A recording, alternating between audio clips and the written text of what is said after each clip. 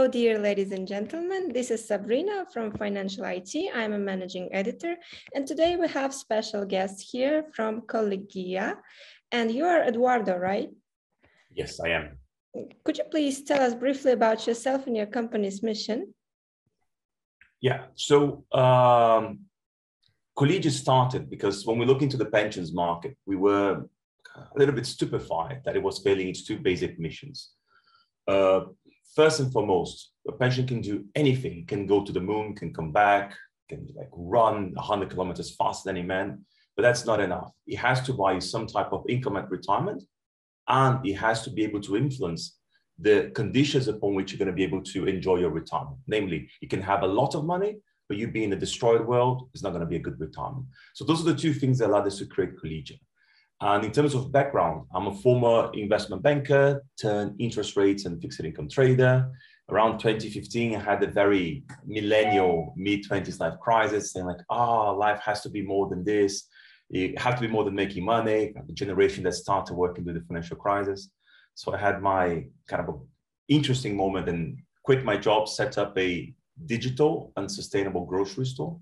So from banking to digital groceries it worked out quite well. It became one of the top five apps most downloaded in Brazil, expanding internationally. And in 2017, I decided that even though I love the startup world, uh, digital groceries was not the thing that made me tick. So I I quit and did what I think now this is traditional. Every single other person doesn't know what to do next does, which is to do an MBA.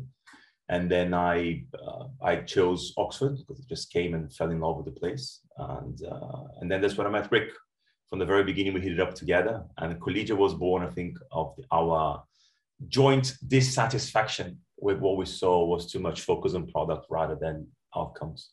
So you are stepping into the pensions market, am I right? Yes, yes. Um, can you briefly describe how the platform actually works from users' perspective? Okay, so we have multiple users at the same time on the platform. And we see ourselves as these super connectors. So for us, the role of a pension scheme is, going to sound completely counterintuitive. It's not about making investments. I think the role of a pension scheme is really about connecting people. In particular, when it comes in the context of, of uh, employment savings, it to come the second pillar, workplace pensions. Let me explain why. So you have in the market, you have individuals that are being employed, and because they are employed, they are being put into a pension scheme. Then you have employers that the government mandates them to be putting individuals into a pension scheme. Then you have asset managers that are able to manage the money and the investments on behalf of those individuals, fulfilling the obligations for those employers. And then you have insurance companies that come and then make sure that these investments are as safe as possible by providing what we call in the UK the FSCS guarantee. Basically, you wrap all the investments into a long-term unit-linked insurance policy, and then even if the asset manager goes bankrupt, even if the pension provider goes bankrupt, even if the employer goes bankrupt, all the money from the individuals are completely safe, 100% with no upper limit. So when we, when Rick and I first looked into this market, we said, okay, cool. The, what is missing the role here is actually to facilitate and translate the needs from one of them to the other. You, you don't need another investment manager. You need someone to, for specifically for the individuals, where you have an app which is focused on retirement planning. So you can see what kind of retirement you're track for and make choices about the world you want to have in the future. And on the back of that, our algorithm matches you to a portfolio managed by one of the world's biggest asset managers. So the user never chooses funds, but chooses outcomes. The income are going to want to have in retirement and what kind of world they want to retire in. The employer, similarly, does not choose a pension. The employer chooses a way that they can fulfill and uh, run their payroll. And then the platform adds another user, which is the accountant, the payroll bureau, that can then go and facilitate this on behalf of the employer. But the employer just receives reports and it chooses a way as the user employer, how do I want my information to be fed into Collegia? Then the asset managers can pitch to us the kinds of funds that they want to have.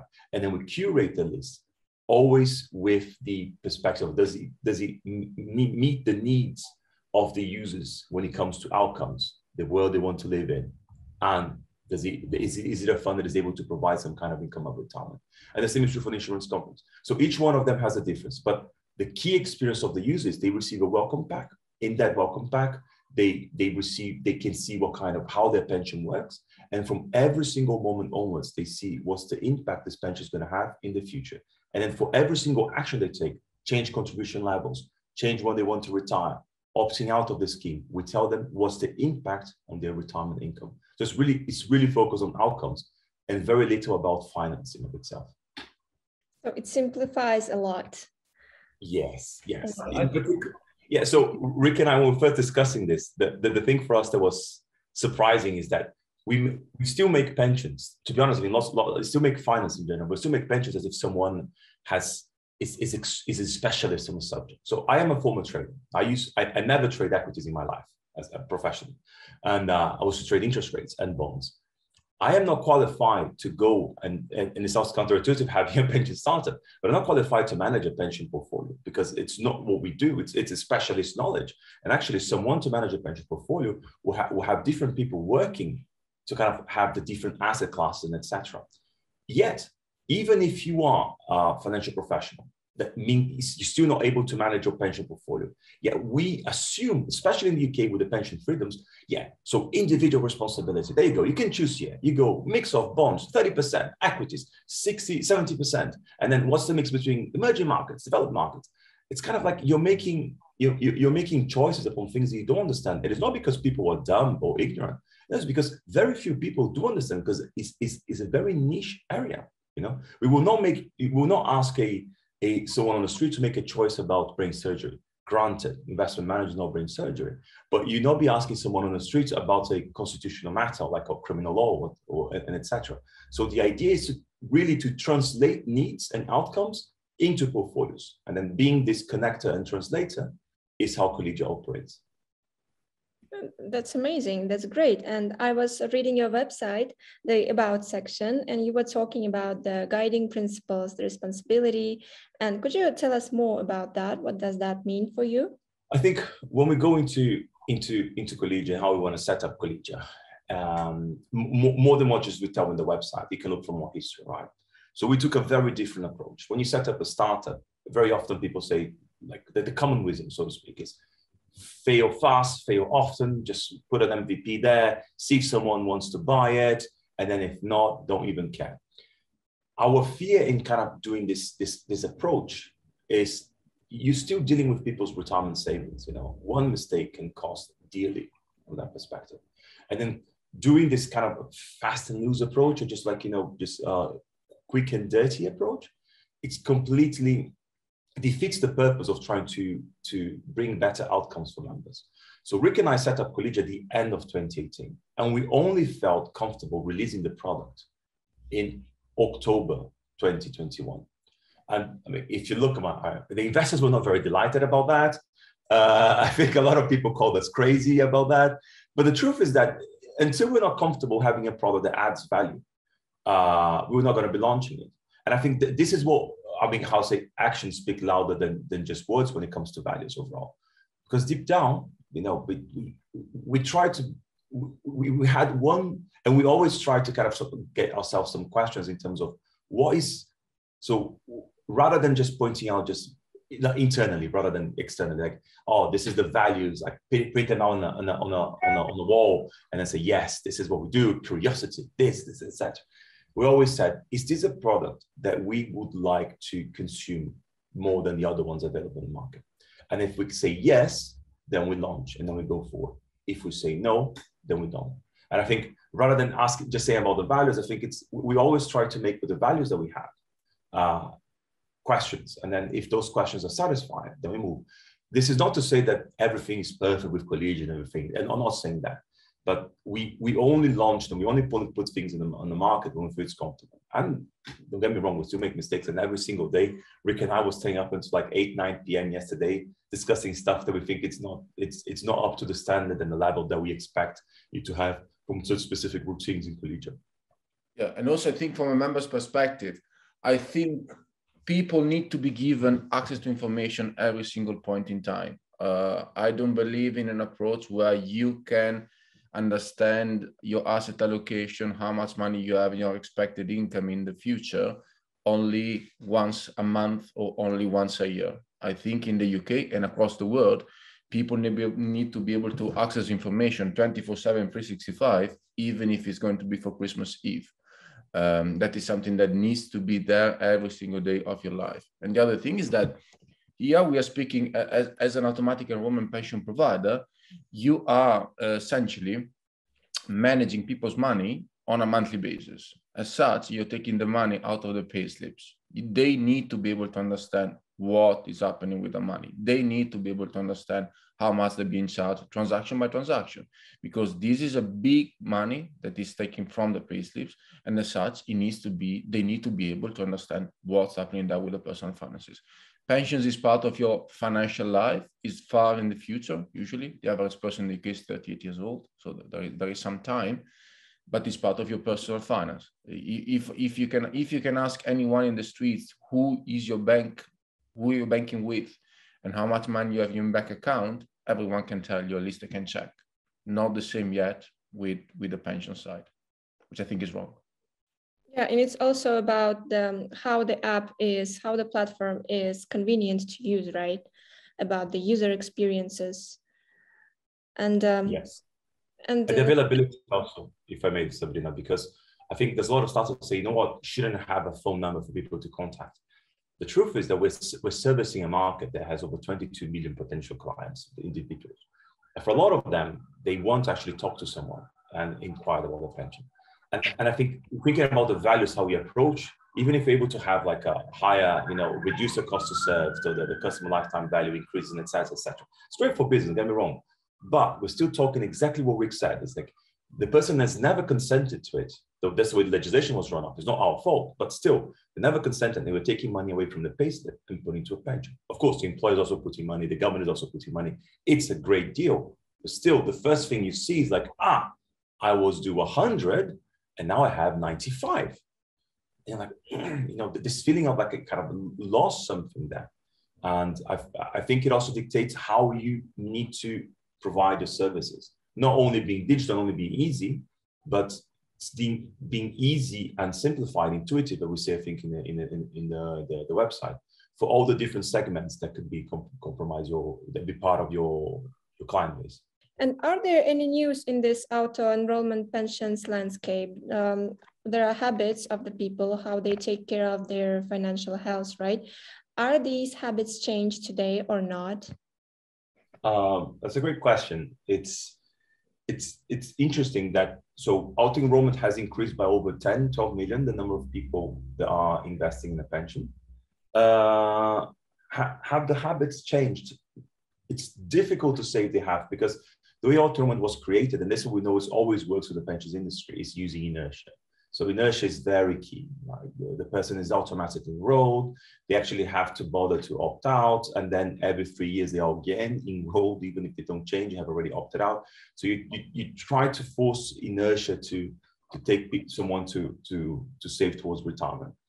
Uh, having said that, what we're seeing right now is, is it, entering a new stage. When enrollment first came, it kind of the novelty. Everyone expected lots of uh, huge opt-out rates. Opt-out rates are hovering around 9%. This is kind of okay-ish, things are going.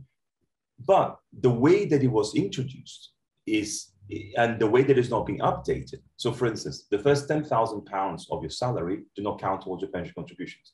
But this has not been updated in years, yet inflation is going up, up, up, up, up. And Similarly, uh, after 50,000 pounds, it's also not counted towards your pension. So what we're having right now is more middle and lower income earners uh, contributing more to their pension than they were before, simply because you have wage inflation, inflation coming. And so now the percentage of, of your, your contributions as a percentage of your total available income or real income as uh, um, as middle income and lower income individuals is going higher and higher and higher. If you combine that with the, the, the cost of living crisis we're having now in the UK, we fear that we might have uh, some more problems in terms of people opting out. Simply because uh, not only everything is becoming more expensive, but also their pension is becoming more expensive as a percentage of their income altogether. And, and the fact that the government didn't want to, uh, to update those things, so get benefits us as a provider, but still, I think it's, it's an issue because deep down you have more people that will be opting out, and then opting out will be worse at retirement. And and in the fact that they didn't increase also the, the upper band also means that this this whole thing is falling just on the lower middle income earners, which is just challenging. So to answer your question, we didn't see much in terms of change of behavior, but what I feel we might be seeing right now is the reality that since auto enrollment has come has passed, legislation needs to be updated to reflect what the current conditions are, or at least the guidances and, and the thresholds and etc. And this is not being done. And I think this is not being done for budgetary reasons, and it might lead to to a less efficient law because people will start to adjust to it. And yeah, I see. And how about funding? Do you receive one? Yes. So we we have a very uh, gladly we have an amazing group of investors. So they range from family offices and uh, angels. We also are supported in the in the product in the delivery of the business by Alliance Punchline. They essentially when they created the portfolios, they liaise with us and etc. and help us also on the distribution side of it.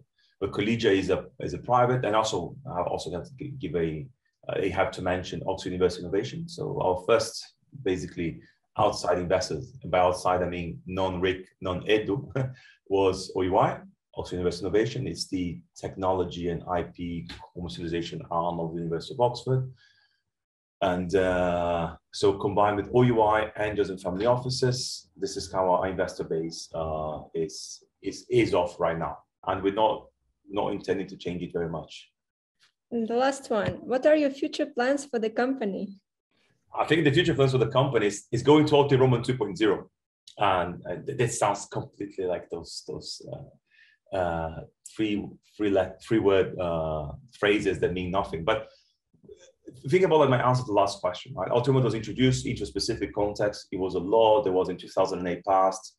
We are far from that from that period. And then um, your pension, you cannot use it if you have an emergency situation, you need to, and, and, and you need to, unfortunately, kind of, either fortunately, unfortunately, you need to uh, uh, use some cash. So we're trying to make the whole offering more compatible with the situations that people uh, face, including if you have an emergency need for cash, and also what kind of other things are related to your pension and risks involved to your pension, to your long-term retirement savings, and your short-term financial well-being that could be provided together with the pension. we don't look, and, and the future of Collegia is dictated by the vision that we have of ourselves, not necessarily as a pension company, but a tech company that does pensions, and in particular as the super connector and this information flow and trying to uh, translate needs into products and into allocations and etc. This, these are the next steps on what we're doing. It sounds amazing, so promising. I think so. So we're watching you grow, actually. And we'll be happy to post your press releases in future. Oh, thank you so much. Thanks a lot. Thank you for joining us today. It was a very nice chat. We got a lot of new information about the pensions uh, landscape and the current trends happening in this area. And I hope to see you soon again.